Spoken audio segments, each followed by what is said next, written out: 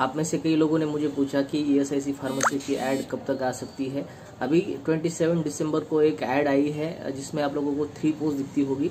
एक स्टेनोग्राफर की है, एक डिविजनल क्लर्क की है, और तीसरी जो है वो MTS बोल के है मल्टी स्टाफ इस नाम से फ्री पोस्ट आई है, अभी हमारी फार्मासिस्ट की काफ़ी दिनों के बाद जो है, अभी तक ऐड आई नहीं है। 2019 में ई की ऑल इंडिया लेवल पे काफ़ी बड़ी जो है, वो रिक्रूटमेंट हुई थी हमारी फार्मासिस्ट तो अभी जो है, ये ऐड आने के बाद हमारी फार्मेसी की ऐड भी आ सकती है। तो आज के वीडियो में जो 27 दिसंबर को ये थ्री पोस्ट की ऐड आई थी तो इसमें किस तरह की जो है वो पोस्ट होगी, उसका पोस्ट का क्वालिफिकेशन क्या होगा और कौन से कौन से ऐसे स्टूडेंट हैं जो इस फॉर्म को अप्लाई कर सकते हैं। आप में से कई लोग मुझे पूछते रहते हैं कि अदर देन फार्मासिस्ट की भी जो है वो जॉब के रिक्रूटमेंट हो या एडवर्टाइजमेंट हो, आप हमारे साथ शेयर करते रहिए। तो आज के स्टूडियो में जो ऐड निकली है ट्वेंटी दिसंबर को ई की तो रेगुलर और परमानेंट पोस्ट है। तो आज की इस वीडियो में मैं आपके साथ शेयर करूँगा कि कौन से कौन से ऐसे पोस्ट है कि जिस पोस्ट के लिए आप लोग जो है वो अप्लाई कर सकते हैं।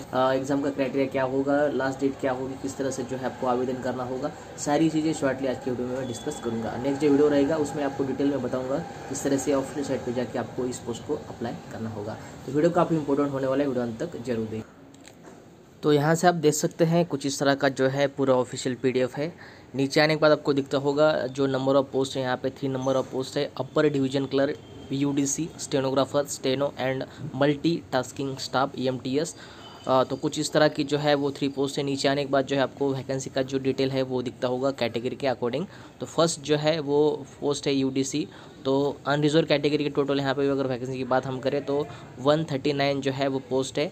Schedule caste mean S category के लिए यहाँ पे 32 पोस्ट है।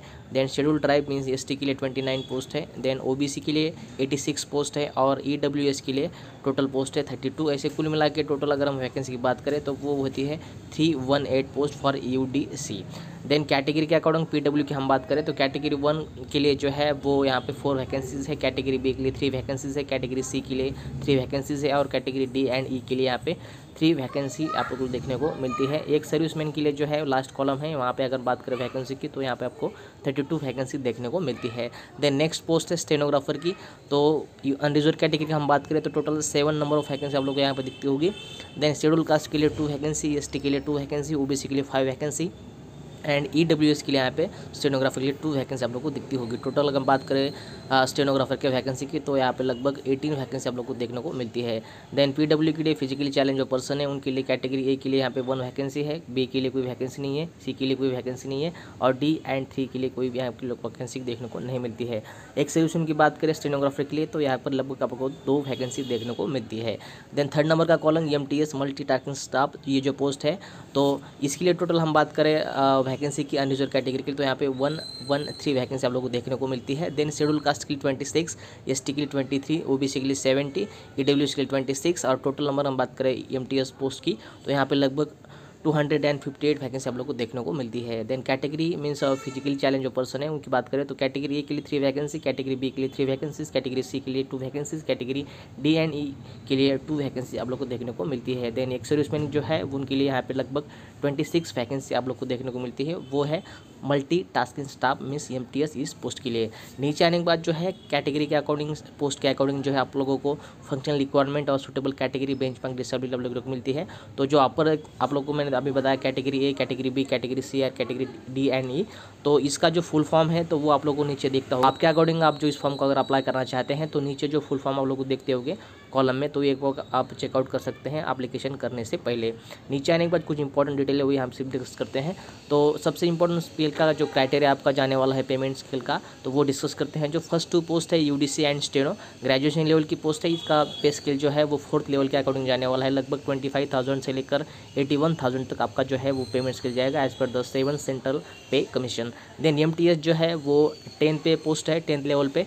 तो इसका जो लेवल है वो वन के अकॉर्डिंग होगा और लगभग एटीन थाउज़ेंड से लेकर फिफ्टी सिक्स थाउज़ेंड तक जो है आपका पेमेंट जाने वाला है as per the seven central pay commission तो कुछ इस तरह की जो है वो पेमेंट का और स्केपीएल का क्राइटेरिया होगा. नीचे आने का सबसे इंपॉर्टेंट इसेंशियल एजुकेशन क्वालिफिकेशन तो इसमें आप लोगों को जो फ़र्स्ट पोस्ट है यूडीसी की तो उसके लिए आपको क्या क्वालिफिकेशन होगा ये डिस्कस करते हैं। तो फ़र्स्ट है degree of recognize university and equivalent तो आपकी डिग्री होनी चाहिए, कौन से भी क्षेत्र में चलेगी आपकी डिग्री तो फ़र्स्ट ये होगा डिग्री का क्राइटेरिया देन सेकंड है working knowledge of the computer including use of office suites and databases तो बेसिक जो है आपको कंप्यूटर की नॉलेज होनी चाहिए, कुछ इस तरह का स्पेसिफिक सर्टिफिकेट नहीं दिया है। तो जनरली डिग्री के स्टूडेंट और जिनको थोड़ा बहुत कंप्यूटर का नॉलेज है तो वो इस पोस्ट को अप्लाई कर सकते हैं। देन नेक्स्ट पोस्ट है स्टेनोग्राफर तो यहाँ पे आप देख सकते हैं क्वालिफिकेशन में ट्वेल्थ क्लास पास आउट और equivalent from the recognize board और यूनिवर्सिटी तो आपका मीन्स ट्वेल्थ होना चाहिए. देन स्किल टेस्ट का क्राइटेरिया यहाँ पे देखने को मिलता है आपको कंपलसरी है dictation tenth minute and eighteen word per minute means ten minute में आपको एटीन वर्ड जो है वो टाइप करने होंगे। देन ट्रांसक्रिप्शन में दिया है fifty minute English sixty five minute Hindi only computers तो कुछ इस तरह का जो है वो स्किल का टेस्ट का जो है वो नाम्स रहेंगे। देन थर्ड नंबर की पोस्ट है मल्टी टास्किंग स्टाफ एमटीएस बोल के। तो ये मेट्रिकुलेशन लेवल और मेट्रिकुलेशन लेवल पे है मीन्स आपका अगर टेंथ हो गया है तो आप इसको जो है वो अप्लाई कर सकते हैं। मेट्रिकुलेशन और equivalent pass from the recognize board इस तरह का जो है बेसिक एजुकेशन और क्वालिफिकेशन का क्राइटेरिया इन थ्री पोस्ट के लिए। जो आप पर पोस्ट दिखती होगी आपको यूडीसी की। तो अगर आपकी डिग्री है तो आप इस फॉर्म को अप्लाई कर सकते हैं कुछ बेसिक सा क्राइटेरिया डिग्री का। देन स्टेनो के लिए जो है आपका ट्वेल्थ अगर पास आप है तो वो आप इस पोस्ट को अप्लाई कर सकते हैं। लेकिन स्किल टेस्ट का जो नाम है ये आप लोगों को पास होना चाहिए। आपका जो डिक्टेशन है वो कोर्स है आप लोगों का जो है वो पास होना चाहिए। तो आप इस पोस्ट को अप्लाई कर सकते हैं। और लास्ट नंबर की जो पोस्ट है एमटीएस अगर आपका टेंथ हुआ है तो आप इस पोस्ट को अप्लाई कर सकते हैं। नीचे आने के बाद सबसे इंपॉर्टेंट एज लिमिट तो फ़र्स्ट जो पोस्ट है यहाँ पर यूडीसी एंड स्टेनो इसके लिए जो एज लिमिट होगी, वो between eighteen to twenty year की होगी। और जो एमटीएस पोस्ट है, उसके लिए भी ये वही सेम है, लेकिन जो अपर एज लिमिट है वो कम है। बिटवीन 18 ईयर टू 25 ईयर का जो क्राइटेरिया है, आप लोगों को एमटीएस को देखने को मिलता है। नीचे आने के बाद जो है एज रिलैक्सेशन का क्राइटेरिया है कैटेगरी के अकॉर्डिंग तो वो एक बार डिस्कस करते हैं।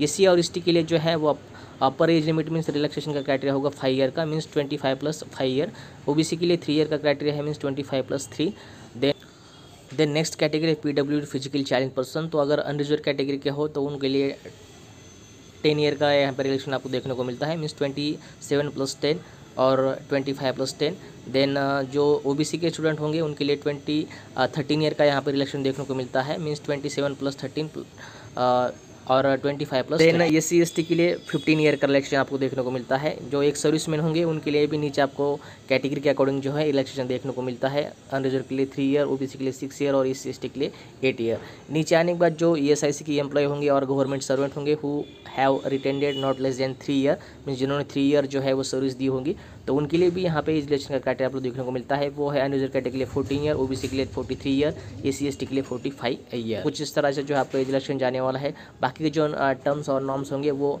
बेसिक से है। नेशनलिटी इंडियन और ने, इंडियन नेपाल भूटान ये सारी जो है बेसिक सी चीज़ें हैं। सबसे important how to apply online apply करना है। और कल से जो है ये ऐड चालू होने वाली है। नीचे देख सकते हैं तो होगा how to apply candidates can apply online up to fifty February two twenty two तो इससे पहले जो है आप इस फॉर्म को अप्लाई आपको करना होगा। नीचे आने के बाद किस तरह से जो है आपको आवेदन करना होगा सारी बेसिक चीज़ें हैं। आप ये पीडीएफ जो है वो चेकआउट करके ये सारी चीज़ें रीड कर सकते हैं। मैंने ये पी आपको टेलीग्राम पर शेयर किया है। टेलीग्राम की लिंक आपको डिस्क्रिप्शन मिल जाएगी। वहाँ से जो है आप सारी चीज़ें चेकआउट कर सकते हैं। नीचे आने के बाद जो है पेमेंट का और फ़ी का क्राइटेरिया है। ये C S T P W D और डिपार्टमेंट के जो स्टूडेंट है, जो फीमेल कैंडिडेट्स है और जो एक सर्विसमैन है, उनके लिए लगभग two hundred and fifty rupees जो है वो फ़ीस लगने वाली है और अदर कैटेगरी के लिए यहाँ पे फाइव हंड्रेड जो है वो फ़ीस यहाँ पे आपकी जाने वाली है। पेमेंट जो है आप ऑनलाइन कर सकते हैं। नीचे आने के बाद ये सारी नॉर्म्स आप जो है एक बार रीड करके अप्लीकेशन कर सकते हैं। जाने के बाद जो है वो स्कीम ऑफ़ एग्जामिनेशन है तो वो मैं आपके साथ नेक्स्ट वीडियो में डिस्कस करूँगा क्योंकि वीडियो काफ़ी लंबा होने वाला नेक्स्ट तो नेक्स्ट वीडियो में पोस्ट वाइज जो है मैं आपके साथ इसका जो स्कीम ऑफ़ एग्जामिनेशन होने वाली है तो वो डिटेल में आपके साथ शेयर करूँगा। देन नीचे आने के बाद जो है क्लोजिंग और ओपनिंग डेट है फॉर्म की अप्लीकेशन की तो एक बार मैं आपको दिखा देता हूँ। उससे पहले जो है आप इस पोस्ट को अप्लाई कर सकते हैं। तो नीचे आने के बाद आपको क्लोजिंग डेट और ओपनिंग डेट दिखती होगी जो अवेलेबल फॉर्म होने वाली है अप्लाई के लिए तो वो होने वाली है fifteen January two thousand twenty two मीस कल से और क्लोजिंग डेट होगी fifteen February two thousand twenty two. तो इससे पहले जो है आप इस फॉर्म को अप्लाई कर सकते हैं। तो नेक्स्ट वीडियो में मैं आपके साथ शेयर करूँगा किस तरह से जो है आपको इस फॉर्म को अप्लाई करना होगा लाइव और साथ ही साथ जो पोस्ट होंगे तो उसका एग्ज़ाम का पैटर्न किस तरह से होने वाला है, आपके साथ मैं नेक्स्ट वीडियो में शेयर करूँगा। तब तक जो है आप पी रीडर कर सकते हैं। ये पी मैंने आप लोग को टेलीग्राम पर शेयर की है। टेलीग्राम की लिंक आपको मिल जाएगी। वहाँ से जो है पी डाउनलोड कर सकते हैं और सारी जो बेसिक चीज़ें ठीक कर सकते हैं। इस तरह की जो है वो थ्री पोस्ट है। कल से जो है वो एस एस की फॉर्म स्टार्ट होने वाली है। तो कल से जो है इस फॉर्म को अप्लाई कर सकते हैं। नेक्स्ट वीडियो में आपको साथ डिटेल में शेयर करूँगा किस तरह से जो है आपको इस फॉर्म को लाइव अप्लाई करना होगा। साथ ही साथ जो थ्री पोस्ट है, उसका एग्ज़ाम का क्राइटेरिया किस तरह से होने वाला है, ये सारी चीज़ें मैं नेक्स्ट वीडियो में आपके साथ शेयर करूँगा। तब तक जो है आप ये पीडीएफ डिटेल में चेक कर सकते हैं रीड कर सकते हैं बेसिक चीज़ें होगी। तो एक बार आप चेकआउट कर सकते हैं। मैंने आपको टेलीग्राम पर ये पीडीएफ शेयर की है। टेलीग्राम की सारी लिंक आपको डिस्क्रिप्शन मिल जाएगी, वहाँ से आप ये पीडीएफ डाउनलोड कर सकते हैं और चेकआउट कर सकते हैं। इस वीडियो में सब इतना ही। फिर मिल जाएगा हर के जय हिंद, वंदे मातरम।